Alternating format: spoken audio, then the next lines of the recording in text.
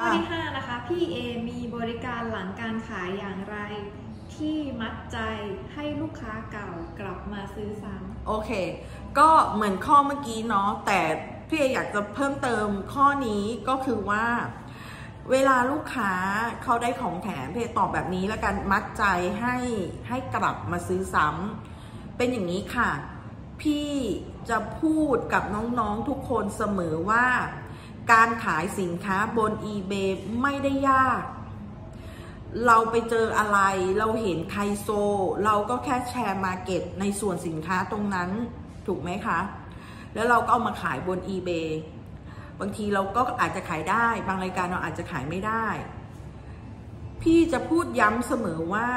จุดเริ่มต้นของการทำ eBay ไม่ใช่การขายสินค้าบน eBay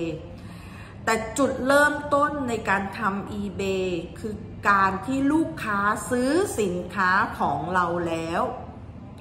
นั่นแหละคือจุดเริ่มต้นที่เราจะคีปอัพมันคือการบ้านค่ะว่า ครั้งนี้เขาเข้ามาซื้อสินค้าของเราทำยังไงนะ ที่เราจะให้เขากลับมาซื้อสินค้าของเราอีกครั้งหนึ่ง ฉะนั้นเราจะต้องแพ็ค 1. แพ็คสินค้าอย่างดี 2. แพ็คสินค้าให้ไวนะคะ 3. เขียนการ์ดด้วยลายมือของตัวเอง มันคือความรู้สึกของการซึ้งใจ ซึ่งปัจจุบันมันไม่มีแล้ว มันไม่มีเลตเตอร์ มันไม่มีจดหมายแล้วอะแต่นี่คือมันคือความวินเทจ มันคือความแบบยุค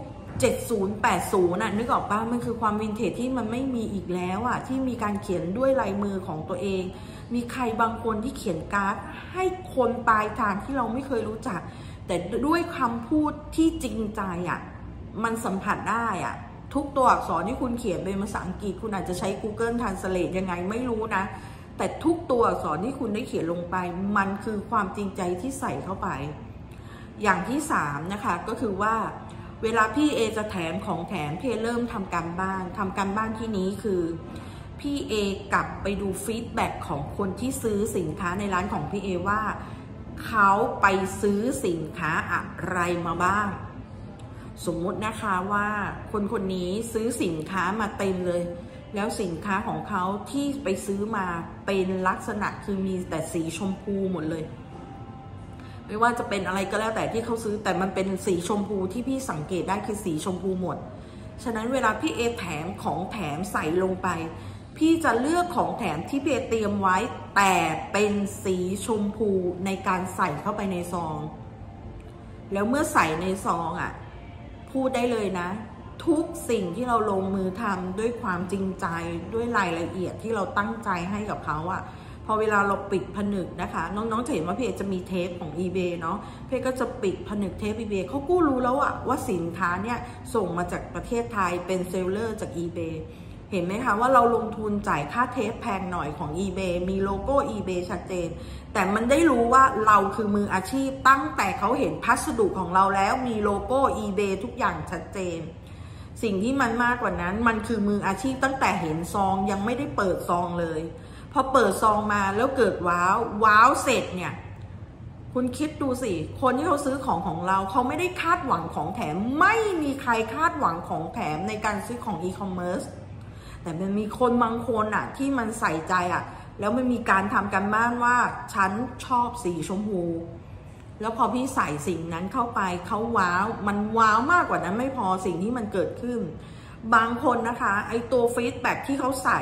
มันไม่เพียงพอเขาต้อง message หาพี่เอกว่า